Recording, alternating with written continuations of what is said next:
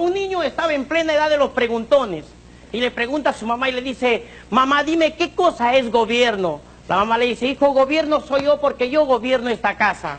Mamá, ¿y qué cosa es propiedad privada? Propiedad privada es tu padre porque tu papá es mi propiedad privada.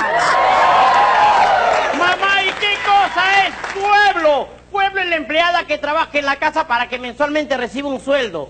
Mamá, ¿y qué cosa es juventud? Hijo, juventud eres tú. ¿Y qué es futuro? Futuro es hermanito el bebito porque tiene un futuro por delante. Ve a dormir. Se va a dormir y a las 3 de la mañana aproximadamente el bebito se cae al suelo. El otro hermanito preocupado va a avisar a sus padres, abre la puerta a la habitación y no le encuentra al papá, le encuentra durmiendo a la mamá solita. Se va al cuarto de la empleada y le encuentra al papá con la empleada. El niño regresa a su cuarto y entre sí se dice estas palabras.